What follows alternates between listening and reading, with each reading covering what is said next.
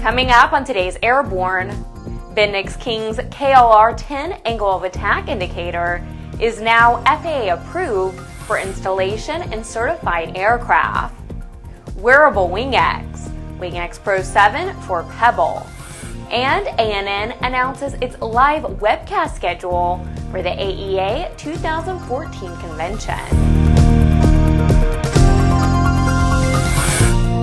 Welcome to Airborne on Aero TV. I'm Ashley Hale.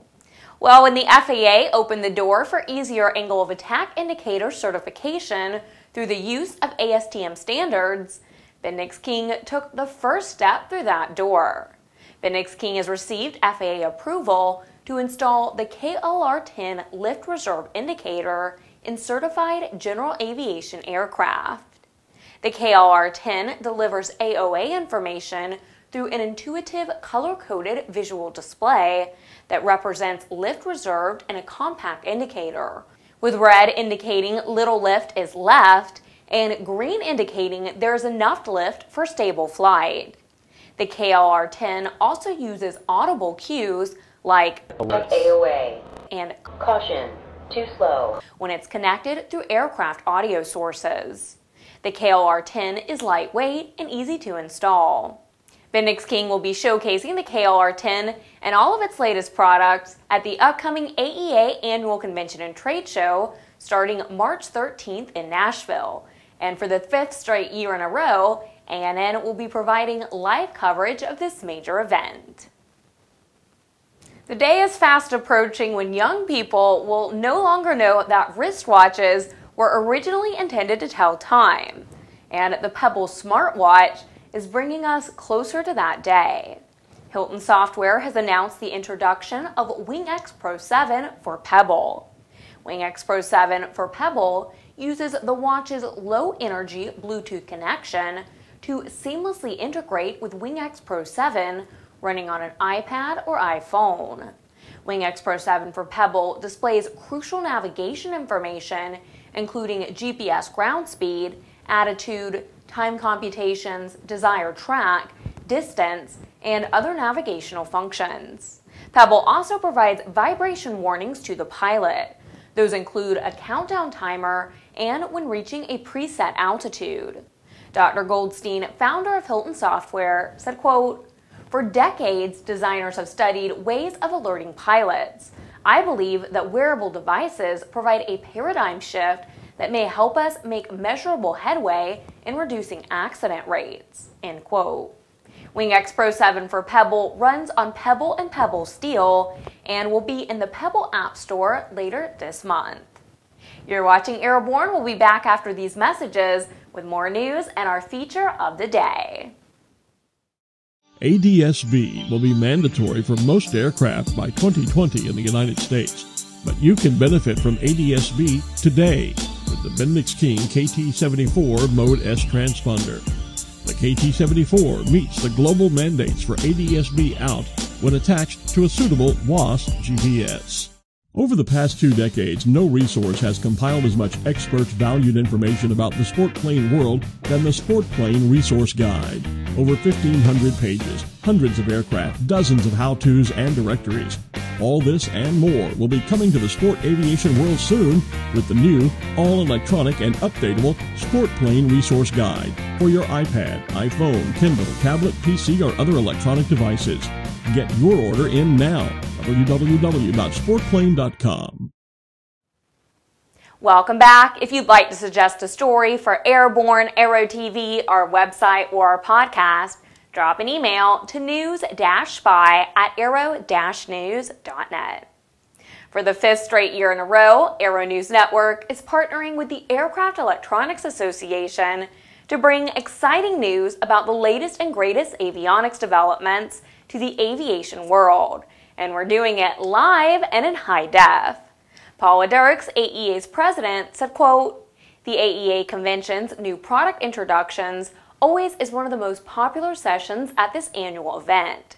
And ANN's live coverage has helped make it the primary launching pad for companies to unveil the latest avionics products and services coming to market. End quote.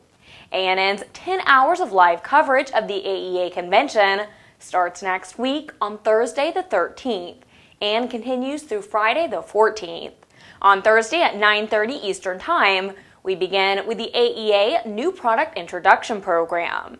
Then at 1600 Eastern Time on Thursday, we continue with our extended coverage of the most fascinating new products, programs, and people.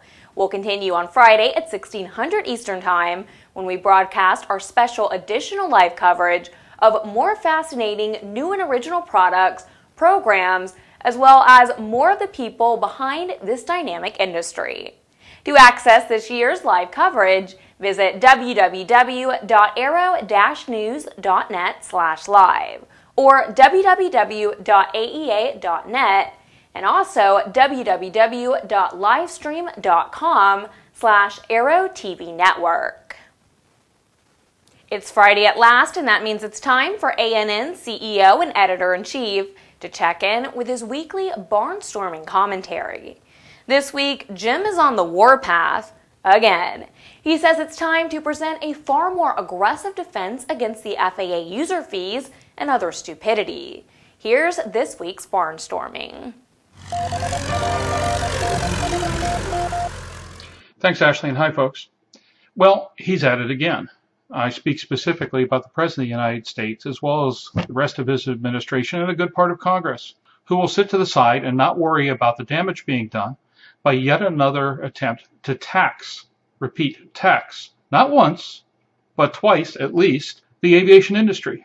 Folks, if there is a more uniquely American industry than aviation, outside of maybe automotive, I don't know what it is. The Wright brothers put the U.S. on the map in the early 1900s by opening the world up to a transportation system that has changed it time and time and time again. But at the same time, the government then was smart enough to realize that aviation needed protection, aviation needed to be encouraged, aviation needed to be promoted. It's a lesson that in the last hundred plus years seems to have been lost. This administration, much of Congress, and folks on both sides of the aisle are trying literally to throw the baby out with the bathwater. We are an important industry. We are in trouble. We've not had the best couple of years. Heck, we've not had the best couple of decades. We're trying to recover. Some innovative new technologies are coming to the fore. Big changes are in the works. And if I have any say in it, we're going to be very disruptive and very aggressive about bringing those technologies to the fore and, and overwhelmingly changing the aviation industry. This administration, this government does not respect aviation. It sees it as nothing but a cash cow. It's time it changed. And the problem is ultimately, it's our own damn fault. Aviation is fragmented. It does not speak with one voice. Many of the associations, but not all, are a joke. They put out press releases. Oh, this is horrible. Oh, we're going to say bad things. Oh, we're going to urge our elected officials. Baloney.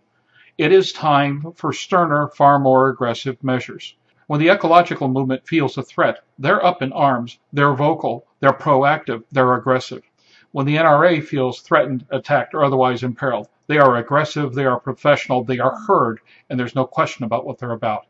Aviation needs to grow up. Aviation needs to be aggressive. Aviation needs to learn to speak as one voice. And aviation has got to learn one lesson and one lesson above and beyond all else that we will not be pushed around, and we've got to find a way to make sure the elected officials know it in no uncertain term.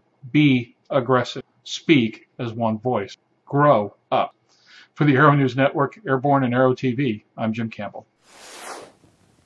It's not often that aircraft avionics get improved features at a reduced price, but that's the case with Trig Avionics.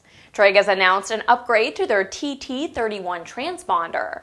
The TT31 will now feature TIS traffic compatibility with panel-mounted third-party displays. Further hardware changes to the TT31 provide improved installation flexibility. Serial ports on the transponder can now be configured to integrate with other avionics. This upgrade enables installers to match the TT31 with associated equipment with the least disruption or additional wiring. Additionally, a compliant ADSB out solution can now be added while retaining the original mounting tray. Trig CEO Andy Davis confirmed that these improvements come with a reduction in the list price of approximately $234. We'll be right back with more news. Redbird Skyport is a multifaceted aviation laboratory charged with developing innovative solutions to the issues facing the industry. It started out as a vision for a laboratory where we could objectively measure the systems and the processes that we were developing. Able to put some objective measures behind the anecdotal evidence that we have about the value of motion and the application of this technology is very, very important because until we can objectively measure it and play that data back, we can't design training systems that make the best use of it. For more information about Redbird flight simulations, as well as Redbird's new Skyport, visit www.redbirdflightsimulations.com or www.redbirdskyport.com. Welcome back. If you'd like to be a supporter of Airborne, Aero TV, our website, or our podcast, drop an email to jim at aero-news.net. Rostislav Belyakov, the man called the chief engineer of the MiG fighter jets, has reportedly passed away at the age of 94. In the race towards aerial supremacy during the Cold War, Belyakov not only designed superb Soviet fighters, he also forced U.S. fighter producers to design worthy competition. It's reported he died last Friday in Moscow of an unspecified illness. Among the airplanes designed by Belyakov and his team were the MiG 23, the MiG 25, and the MiG 29, considered to have been primary fighters for the Soviet and later Russian Air Force. He joined the company in 1941 and had become a deputy chief designer in 1957. Belyakov had been unknown to the public until the Soviet Union collapsed, but had been quietly presented with multiple state awards and honors while he was with the company. Aircraft home building is dominated by manufacturer produced kits, but it wasn't always that way. Tom Patton has the story of one manufacturer that is continuing to do things, at least in part, the old fashioned way. Back in the good old days, home built airplanes were scratch built, starting with nothing more than a set of plans. The Zenith Aircraft Company continues that tradition. Zenith announced it has now sent 10,000 sets of plans to aircraft builders in over 50 countries. While most plans accompany complete or partial aircraft kits, some still go to scratch builders. Sebastien Heintz, president of Zenith Aircraft, said, quote, We allow our customers to choose how they build their own airplanes, whether as a scratch-built project or from a completed kit or anywhere in between. Detailed plans for the two-seat Zenith aircraft design start at $425 a set. Richly illustrated, the sets contain step-by-step guidelines with all the information needed to build a complete airplane.